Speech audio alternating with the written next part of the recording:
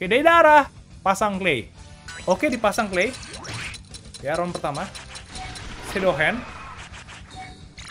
Hilangkah? Claynya hilang! Tidak meledak! Yo guys, balik lagi ke Ghost. Kali ini kita bakal main game Ninja Heroes New Era lagi teman. Dan kali ini kita bakal review ya guys ya. Animasi dari Hashirama. Oh mama, Sage Hashirama memegang pedangnya ya guys ya anjay. Dan dia punya dua skill yang seperti kemarin udah gue jelasin ya guys ya. Dia punya dua skill. Dua skillnya itu apa aja ya. Dua skillnya ada Soul of Wood maupun uh, Attack of Wood ya guys ya. Jadi buat kalian uh, belum tahu Hashirama ini punya dua ini ya guys ya, dua skill ya. Dan ini bakal nge-restore 20% max HP dan bisa nge-remove ya guys, menghilangkan semua buff dan debuff ya guys ya dari player uh, with high trigger frequency dan ini bisa dua kali guys dengan proses rate yang sangat tinggi yaitu 35%. Wow, gede banget guys ya, gede banget. Dan ditambah lagi di sini ada Tech of Wood. Ya, ngasih 415% ya. Uh, dia bakal nge-summon uh, from the ground ya dari bawah ya guys ya. Der, teman-teman ya. Dan ini prosesornya 20%. Wow, gila, gila ya guys ya. Ditambah lagi dia bisa keluar dua kali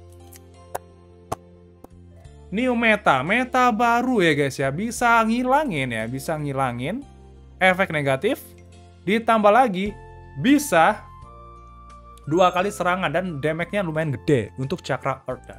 Dan ditambah lagi ya uh, UR 220 ya guys ya, wow, GG. Kita bakal testing dulu guys ya, bakal testing ya. Hasil ramanya kita bakal testing ya. Ntar kita bakal masukin ke timnya dulu ya. Uh, Boruto-nya kita bakal ganti ya eh ninja E ya? Ninja E aja deh. Mana ya? Sensasi rama ya nah ini kita bakal lihat ya skillnya dia dulu ya guys ya. Gua klaim-klaim dulu lah. Dan kita langsung ke ini ya ke normal aja. Kita cari yang ada Sunade Susunade nah ini. Sunade Susunade biar kita bisa lihat evek-eveknya teman-teman. Dan kita bakal cek ya guys. Oh kalau nggak salah ada uh, ini uh, Dedara ya, Dedara ya. Dedara kan ini ya guys ya. Clay ya kalau nggak salah ya. Dia masang clay ya. Coba kita lihat ya, dia bisa bisa masang clay ya ke ini ya di Hashirama ya. Coba kita cek ya. Kalau bisa, wow ya guys ya. Oke, Dedara pasang clay. Oke, dipasang clay.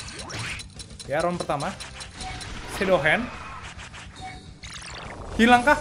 Claynya hilang! Tidak meledak! Wow! Attack of wood. Segede apa? Hermes. Ya karena dia masih level level 0 ya guys level kecil ya guys ya. Lawannya dia darah ya guys ya. Ya wajar-wajar aja guys ya. Level kecil ya guys ya. Tapi kalau kalian lihat tadi guys ya eventnya ya clay terpasang hilang. Berarti dia nggak bisa di ini ya dikomboin dengan GOR ya? Kayak damage damage itu. Soalnya buff maupun debuff itu bahkan di clear. Ya efek apa pun yang ada di dalam tubuhnya itu bakal di clear Ya bener kak bang, ya ini karena ada translate-nya guys ya dari sini ya, dari sini ya. Nih, remove all buff. Buff itu uh, sesuatu yang uh, positif, ibaratnya kayak uh, nambah kekuatan dia atau apalah guys ya, efek-efek yang bagus ya guys ya. Di buff itu yang tidak bagus kayak tadi itu clay dari musuh teman-teman. Jadi itu with trigger frequency, jadi bakal dihilangin. Ya, jadi kalau make ini kalau nggak cocok untuk GOR, dia lebih cocoknya ya ini benar-benar full skill ya dan tambah lagi kalau kopsil bakal berpengaruh nggak ya kopsil? Gue nggak tahu ya guys ya. Dia bakal menghilang kopsil atau enggak ya? Belum gue coba juga ya guys ya. yang kopsil ya karena ini ID-nya masih kecil ya. Coba kita cek lagi guys. Nah ini guys ya. Bentar. Kalau apa ya? Bentar. Musuh yang ada negatif-negatifnya apa ya tuh? Contohnya efek-efek negatif.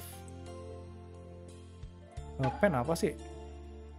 Pen itu kan enggak ini Kopsil siapa sih uh, Hyundai ya? Hyundai enggak ada atau ini enggak coba kita lawan ya. Orochimaru ya? Gue lupa deh yang Kopsil Kopsil itu guys ya. Orochimaru ya?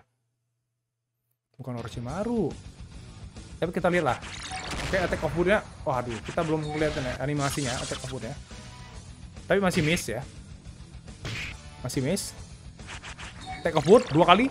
Ger 890 ya. Itu di level kecil ya di level kecil melawan yang ini itu udah so far oke okay lah guys ya oke langsung mati karena mungkin deploynya belum belum oke okay lah ya guys ya deploynya Tew, tew. Dan ini nggak bisa nge-skip ya guys ya, karena harus VIP 3 untuk skip. Jadi kita harus menonton mereka gelut, gebuk, hmm, mampus ya. Kasih pam, mamam tuh, anjay. Oh ya dia pakai ini ya, gerbang ini ya. Anti itu ya. Gue lupa korupsil di siapa sih? Ah. Kopsil di siapa sih? Di Okage keempat bukan kan? Oke. Okay. Biasanya nyari ya. Nah, Hidan bukan Hidan ya. Bukan ini. Ini bukan Madara juga ya.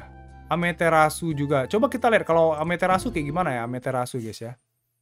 Kan itu kan uh, Oh iya, yeah, dia ngebakar ini ya guys ya, bukan ngebakar. Oke, dia udah langsung make ya. langsung mati ya langsung waktu engkau diinjek katak ya mamam tuh ya Nine Tails. Nah, intinya kayak gitulah guys ya.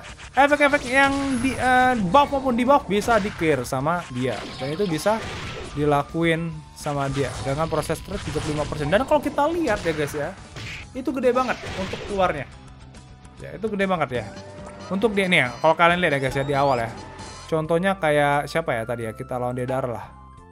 Ya. Dia uh, proses trade-nya 35% nih. Kita lihat ya, apakah dia bakal bisa langsung ngilangin clay-nya langsung ya. Tadi kan percobaan pertama ya. Oke. Okay. Karena ini ada, waduh, meledak. Berarti chance-nya itu ya guys, 35%. Ini hilang efeknya tadi. Nah, healing, udah healing, Ya, healingnya itu kan 20% dari maksimum darahnya ya guys. Jadi buat kalian yang belum tahu ya dari maksimum. Misalkan dia punya darah serat, uh, 1 juta nih guys ya. Darah misalkan 1 juta ya, contoh ya guys ya. 20%, berarti dia bakal nge-heal 200%. Eh, 200%, 200 ribu. Ya, dari 1 juta. Ya. Kayak gitu teman-teman ya. Dan berarti ini uh, nggak 100%, 35% ya guys ya. Ingat, 35%, tapi menghilangkan efek buff maupun debuff. Coba kita coba lagi, sekali lagi deh darah ya.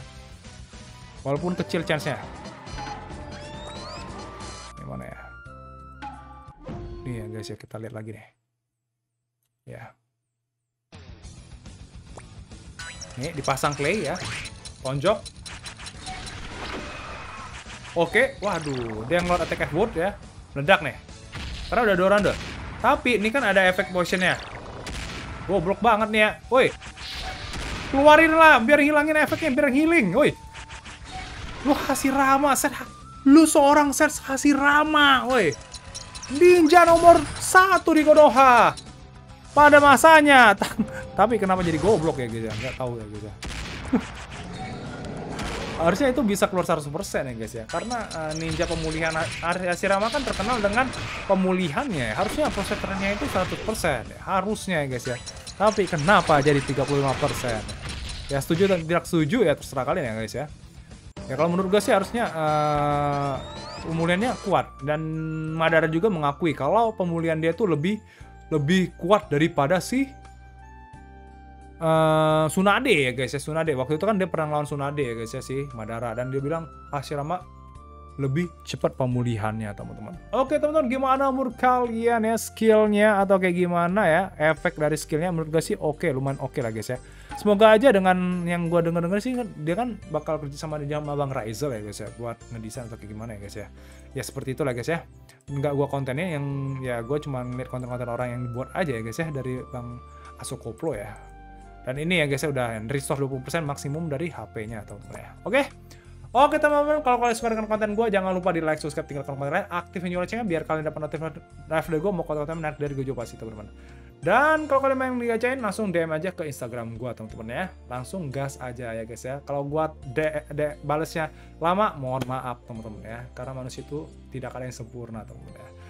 Dan jangan lupa bagian diri kalian berbagian orang lain. Gue Ligos pamit dulu diri, sismen. Bye-bye.